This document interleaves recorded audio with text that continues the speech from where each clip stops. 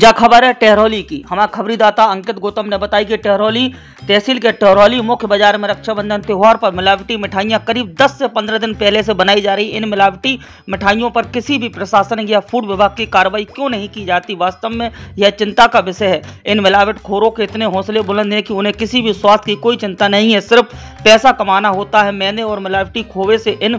मिठाइयों में वर्क और रंग भी डाल दिया गया है स्वास्थ्य के लिए खतरा पैदा करता है वहीं सड़क किनारे लगी हुई इन दुकानों पर मिठाइयाँ सजा कर रख ली गई है जिन पर गुजरने वाले वाहनों से धूल भी उड़ती है इन मिठाइयों पर जा रही किसी भी दुकानदारों ने धूल से बचाने के लिए कोई व्यवस्था नहीं की इन मिलावटी खोरों पर जल्द उचित कार्रवाई की जाए उप जिलाधिकारी अब्दुल कलाम से बात हुई तो आदेश आदेश इंस्पेक्ट फूड इंस्पेक्टर जांच कर कार्रवाई के आदेश दिए हैं फूड इंस्पेक्टर सत्यन भारती से बात